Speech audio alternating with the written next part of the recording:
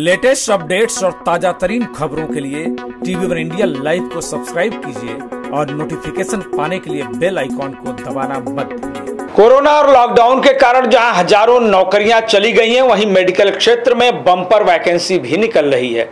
अकेले नईमई महानगर पालिका में ही 320 नए पदों के लिए कर्मियों की ज़रूरत है। दरअसल नईमई में बेतहासा बढ़ रहे कोरोना संक्रमण एवं इलाज के लिए चिकित्सा कर्मियों की भारी कमी फिर दिखने लगी है। डेडिकेटेड कोविड केयर सेंटर फिर चालू होने लगे हैं। चिकित्सा केंद्रों के लिए एमबीबीएस डॉक्टर से लेकर वार्ड बॉय तक के लिए जॉब शामिल है।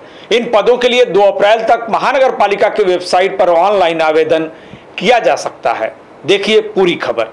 अगर आप एमबीबीएस या बीएएमएस डॉक्टर हैं अथवा चिकित्सा क्षेत्र से जुड़े हैं तो यह खबर आपके लिए है। जी हाँ नवी मुंबई महानगर पालिका ने बढ़ते कोरोना और कम पड़ रहे चिकित्सा कर्मियों की संख्या को देखते हुए 320 मेडिकल कर्मियों की बम्पर भर्ती करने की तैयारी की है।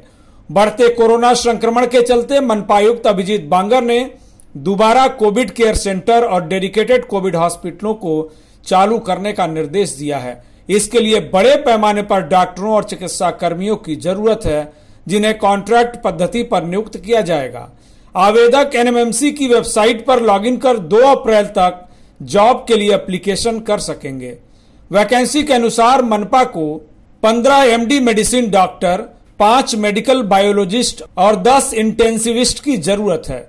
वहीं 50 एमबीबीएस डॉक्टर्स 75 बीएएमएस 40 बीएचएमएस और 10 बीयूएमएस के साथ ही 200 staff nurse 40 nurse midwife 35 lab technician और 40 वार्ड बॉय की ज़रूरत है।